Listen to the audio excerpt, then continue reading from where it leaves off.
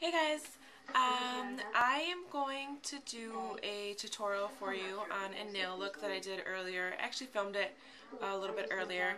Um, it's looks like this and it's just a nude nail with a design on my ring finger.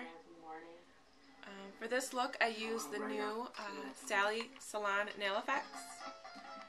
That? And this one is in number 360, just laced up.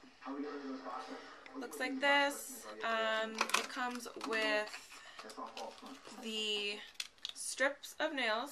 Um, they come in a little package like this. You get eight in each package. You get two packages in each box. Also comes with a wooden cuticle tool like, this. It has a flat end on this side and then a pointy end on that side. And then also a nail file with a rough side and a smooth side. Um, and that's that's basically all you use for it. A um, couple things. It does say that your hand, you should use warm hands when you're doing it. I also read online that some people have blow dried their hands um, before if your hands are cold for whatever reason or you can't get them warm. Um, that yeah they put a blow dryer and uh, on their hands or on their nails to warm it up. Make sure your nails really really clean before you apply it. Uh, so just make sure you get everything all the dirt and oil off of that off of the nail. And uh, yeah you just apply it. So it was really simple. It kind of took a while um, for me to figure it out at first but uh, overall really simple. I'm really happy with it. Uh, it's really pretty I like it a lot. I haven't used it on, I didn't use it on all my nails obviously, but um, I'm going to get a couple other designs and try it out. The other nail color that I have on there is just a beige, uh, nude taupe color. That would look really nice with the lace. Um, I used Essie's Jazz, just like that really pretty color. I like it a lot. So yeah, I hope you guys find it useful. I hope you like it. Uh, if you have any other questions, uh, just leave them down in the comment bar and hopefully you guys like it. And uh, I apologize now for the shoddy uh, camera angles. Unfortunately, it was hard for me to figure out how to get my camera situated so that I could uh, get you guys the best angles on it. So. Eight.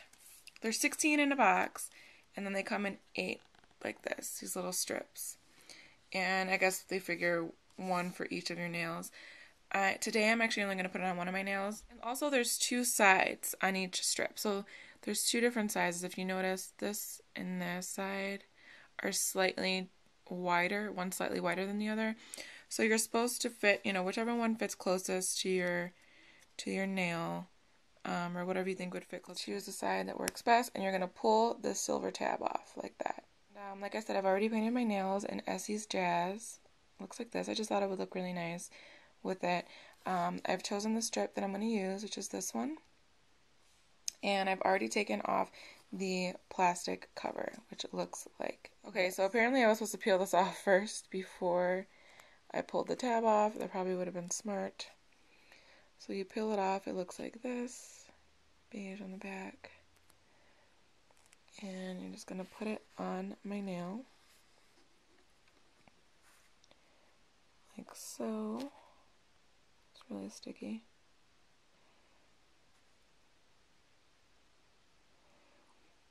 And trying to hold it. And then once you put it on, it says to stretch it out. As you can see, there's like a ton extra, which actually really seems like a waste if you have a, a tiny nail.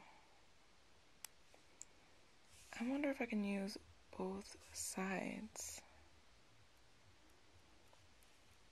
So you know what? Actually, what I'm going to do, so I just end up using one, I'm going to take a small scissors and cut this right above where my real nail is.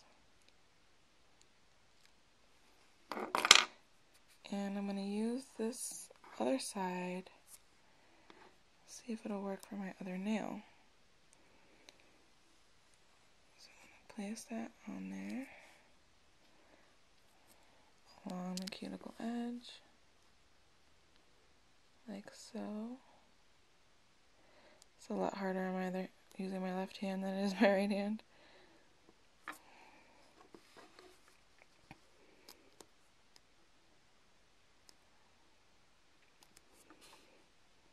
Okay. Yeah, that makes a lot more sense, just using one for two. And I'm going to do the same thing on this one that I did on the other one. To rub against the nail edges so that it really forms to your nail.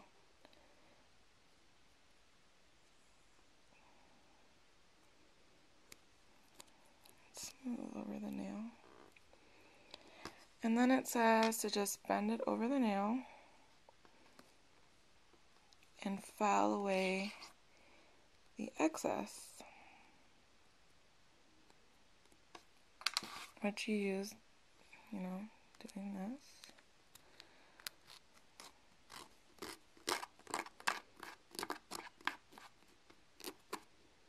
And I'm just doing like a downward motion to make sure that I get it, you know, over the edge of the nail. That seems to be the best way to do it, I'm assuming. And then just get on the edge here. And this little piece came off. And voila. Just get my camera so you guys can see a little bit better.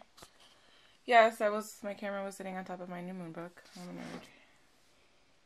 And this is what it looks like. It's actually pretty cool. It's really, really easy to do. Um, I guess I'm just wondering how long it'll last. It says on the box here. Um, you can see that lasts up to 10 days. Hmm. So we'll see. So yeah, this is what it looks like. So yeah, so it's really not that hard. Um, I will do a review on this a little later um, and see how well it lasts and all that jazz. So yeah, there's it again.